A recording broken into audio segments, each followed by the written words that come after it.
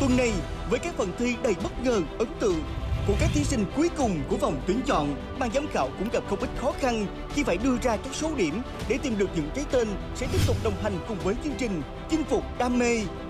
tự tạo cảm xúc chứ còn cái tiếng kịch này gần như là nó không thật nói ra cái tâm lý của nhân vật nữ này nè có bất ổn không vậy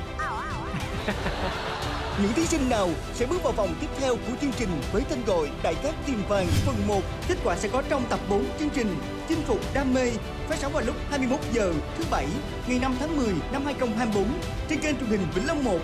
và phát lại vào lúc 13 giờ chủ nhật, ngày 6 tháng 10 năm 2024 trên kênh truyền hình Vĩnh Long 2.